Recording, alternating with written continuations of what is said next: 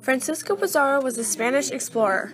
He was born in the 1470s in Trujillo, Spain. He grew up illiterate, having received little education. In 1513, he accompanied Vasco Nuñez de Balboa to the Pacific Ocean and was later awarded by Pedrarias Dávila, the governor of Castilla de Oro, for arresting Balboa. He was given the role of mayor and magistrate in Panama City. Inspired by Hernan Cortez, Pizarro set out to conquer the Incan Empire in Peru. His goal was to obtain the riches the civilization had. In 1532, Pizarro arrived in Peru shortly after the Incan Empire Atahualpa won the throne from his brother in a civil war. After gaining the leader's trust, Pizarro slaughtered thousands of his followers and captured Atahualpa. Francisco eventually killed him, even after a ransom was paid.